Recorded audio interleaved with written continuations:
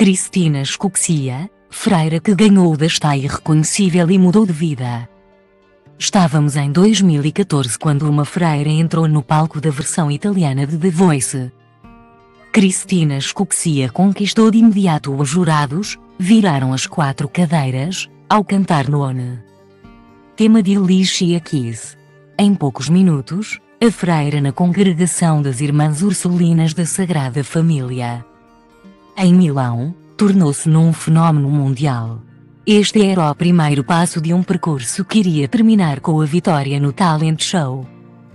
Cristina Escuxia lançou depois um álbum de covers, dando voz a temas como Like a Virgin de Madonna. O trabalho teve sucesso e a freira chegou a oferecer uma cópia ao Papa Francisco. Em 2018, chegou ainda a editar um disco de originais, isto numa fase em que o mediatismo já não era o mesmo. Desde então que pouco se sabe sobre a famosa freira italiana. Até que, oito anos depois de se ter tornado conhecida, a jovem italiana, de 33 anos, decidiu dar uma entrevista. E este é o segundo momento em que surpreende o mundo. A italiana concedeu uma entrevista ao Talk sobre Simo.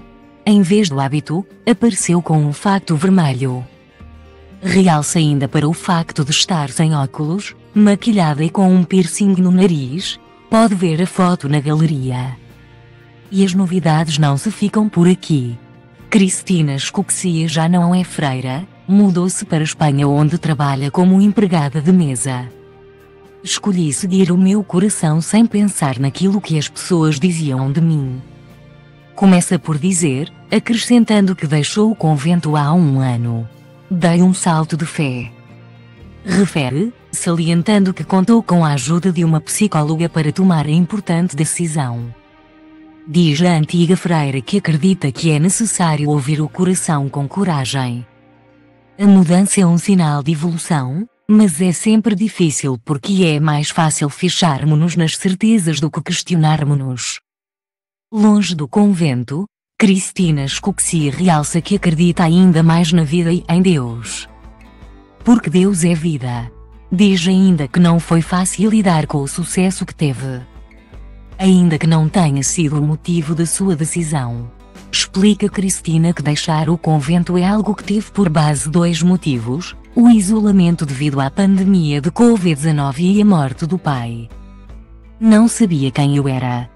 Se olho para trás, vejo minha jornada com um profundo sentimento de gratidão.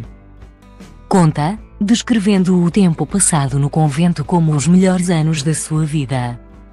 E será que Cristina Escuxia está agora disponível para amar? Acredito no amor. Garante.